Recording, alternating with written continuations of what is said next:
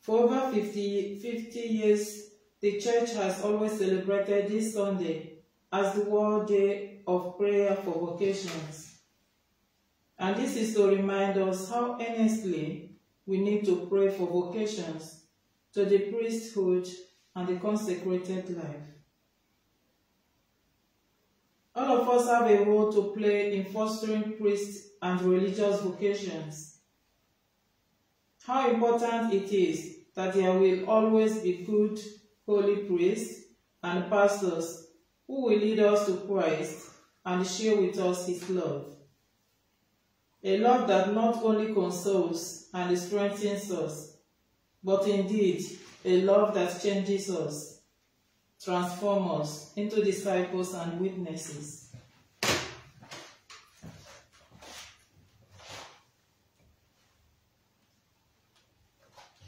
What then do we know that Christ is calling us, and what does it require of us to hear his call and to answer to it? Vocation is always a work of God. He leads us beyond our initial situation, frees us from every enslavement, breaks down our habits and our indifference, and brings us to the joy of communion with Him and with our brothers and sisters.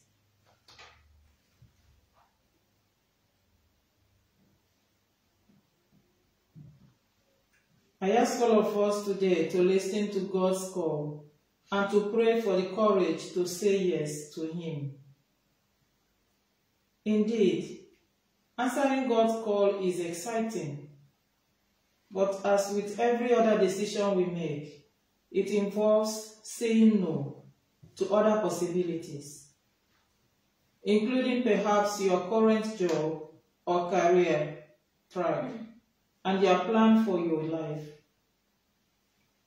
Yet, it is in surrendering our plans to the Lord that the real plan becomes evident.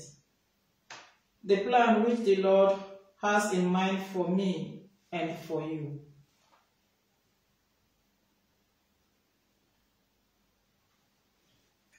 I ask everyone here, pleasing to pray for religious vocations, that many more young men and women will ask God's call, will answer God's call. We should also pray for those who are already in seminaries and religious houses of formation at this time, that they will persevere in accepting God's call. And I ask you also to please pray for bishops, priests, deacons, and those in consecrated life, that God will strengthen us in our vocations in order to lead us in the ways of truth and the love. As we are in the presence of God in adoration, Jesus the Good Shepherd is with us in the Eucharist. May we open our hearts to Him in love and thank Him for loving us infinitely and personally. May we listen to His voice and follow this Good Shepherd wherever He leads us. May God bless us and keep us in His love. Jesus said, I am the good shepherd. A good shepherd lays down his life for the sheep. I am the good shepherd, and I know mine, and mine know me. Just as the Father knows me, and know the fa I know the Father, and I will lay down my life for the sheep. I have other sheep that do not belong to this fold. This also I must lead, and they will hear my voice. And there will be one flock and one shepherd. This is why the Father loves me, because I lay down my life in order to take it up again. No one takes it from me, but I lay it down on my own. I have power to lay it down and the power to take it up again. This command I have received from my Father.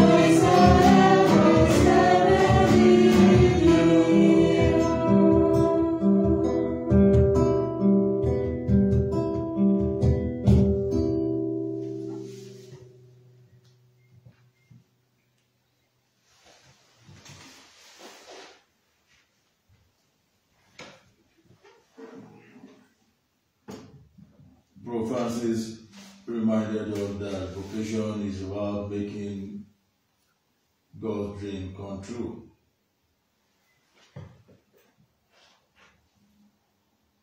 Pope Francis' message released for the 59th World Day of Prayer for Vocation on the theme Call to Build a Human Family encourages every person in the church to give the very best of themselves in this great divine plan. He speaks about vocations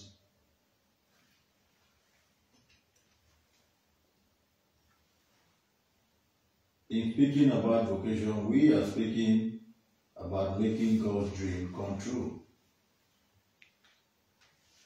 The church observes the World Day of Prayer for Vocations on this day, also known as Good Shepherd Sunday. In this message, he reminds religious and clergy that they are called to be protagonists of the church's mission, to be guardians of one another and of creation to welcome God's gaze, to respond to God's gaze, and to build a fraternal world.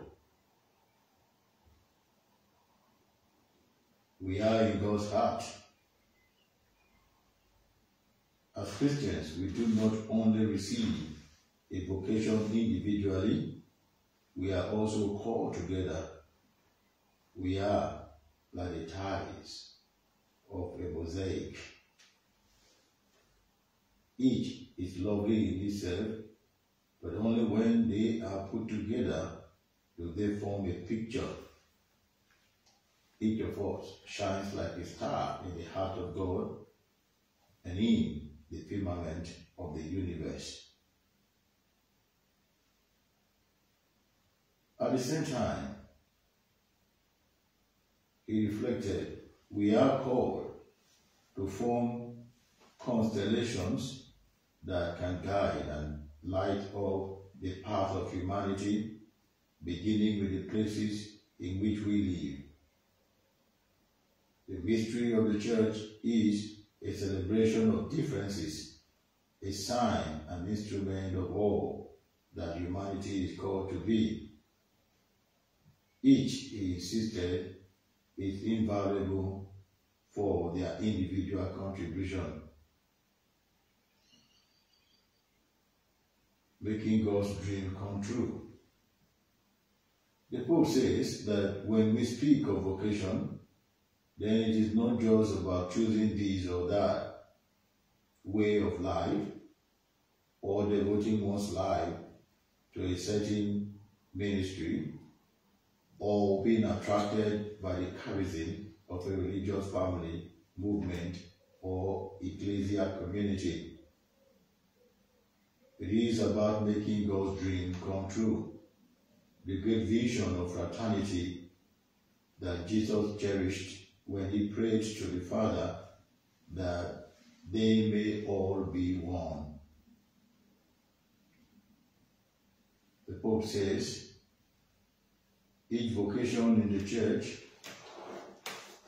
and in a broader sense in society contributes to a common objective, namely that of celebrating among men and women that harmony of manifold gifts that can only be brought about by the Holy Spirit. God's purpose for us. Addressing priests, religious, consecrated women and men, and the lay faithful, the paper uh, encourage everyone to journey and work together in bearing witness to the truth that one great human family united in love is no utopian vision, but the very purpose for which God created us. The Pope concluded his message to World Day for World Day of Prayer for Vocations with an appeal to the entire church to work together, inspired by God's love. Let us pray, brothers and sisters, that the people of God, amid the dramatic events of history, may increasingly respond to this call. Let us employ the light of the Holy Spirit so that may find our proper place and give the very best of ourselves in this great divine plan.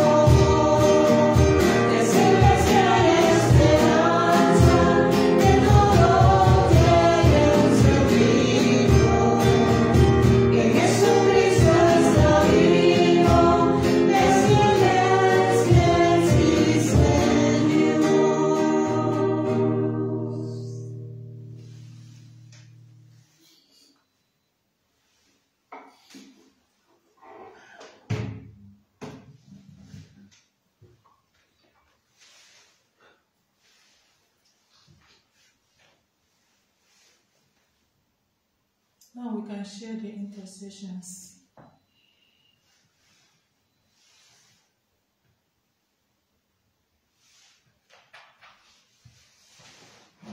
O God, who enlightens the minds and inflames the hearts of the faithful by the Holy Spirit, grant that through the same Spirit I may know my true vocation in life and may have the grace to follow it faithfully. Lord, hear us. The Lord graciously hear us. On this vocation Sunday, we pray for those whom God is calling to serve Him in the priesthood and religious life. May they sense that call with greater clarity and have the courage to respond generously. Lord, hear us. Lord graciously hear us. We pray for those who work to promote vocations in our diocese, that they may work with our priests to create a culture of vocations in every parish community of our diocese and the whole world. Lord, hear us. Lord, graciously hear us. For all parents who by their prayer and example nourish the call of God in their children, we pray to the Lord. Lord, hear us. For bishops and all the priests, that they may be renewed in faith and continue to be good shepherds of the people of God with truth, charity, and joy. Lord, Lord. hear us. Lord, graciously hear us. For all seminarians who are studying for priesthood for our diocese and the whole world, may the Lord bless them, guide them, and all those preparing for priesthood. Lord, hear us. Lord, graciously hear us. For our civic leaders, doctors, nurses, and all who serve the common good, may the spirit of the good shepherd of care and service continue to be strong at this difficult time. Lord, hear us. Lord, graciously hear us. Father, can you conclude for us? Merciful Father, hear the prayers of your people who praise you for your care. Through these prayers of intercession, may we never grow indifferent to the needs of your people.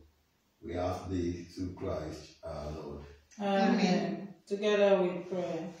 Prayer for vocations. Lord, Lord, Lord Jesus, you recommended to us to ask for laborers to the Lord of the harvest. We beg you through the intercession of the Blessed Virgin Mary, then to multiply the number of religious in this congregation. The need of religious with a truly apostolic spirit is most urgent. Choose in all families and in all schools those youthful hearts which may beat in unison with yours. Lord, prepare them yourself.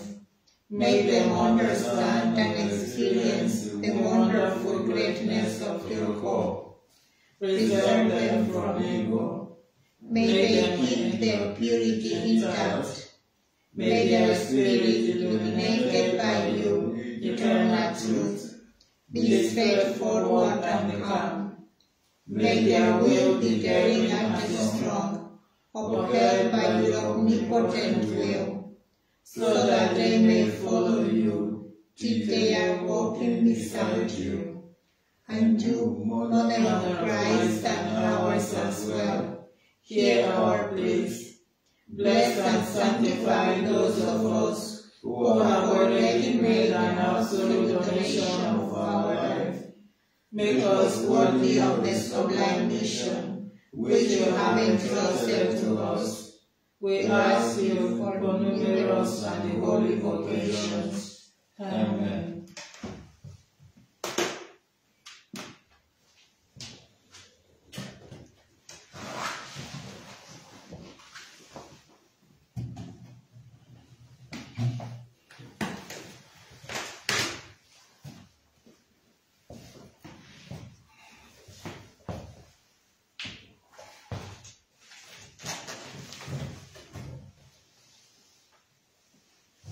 Let us pray for our Holy Father, Pope Francis. May the Lord preserve him, give him life and happiness, and deliver him not into the hands of his enemies. May your hand protect your chosen one. The man whom you have have strengthened. strengthened. O God, shepherd and sovereign ruler of all, You're faithful. Look mercifully on your servant, our Pontiff Pope Francis, whom you have constituted as shepherd of your church. Grant that through his example and teachings, he may by those whom you have ordered him to lead. May he attain eternal life in union with the flock, which you entrusted to him. Through Christ our Lord. Amen. Tantum ergo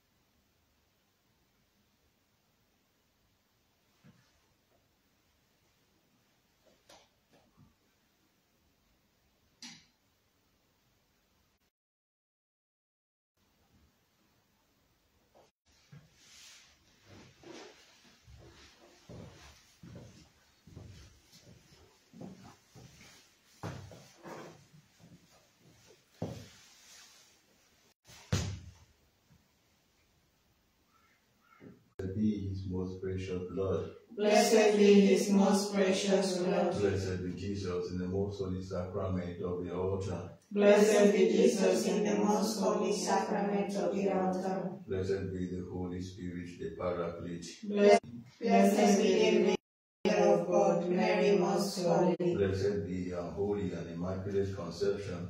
Blessed be her holy and immaculate conception. Blessed be her glorious assumption. Blessed be her glorious assumption. Blessed be the name of Mary, Virgin and Mother. blessed be the name of Mary, his kindness towards us, and the fidelity of the Lord endures forever. Glory be to the Father, and to the Son, and to the Holy Spirit, As it was in the beginning, is now, and ever shall be. world without end. Amen. Let us Eternally adore the blessed.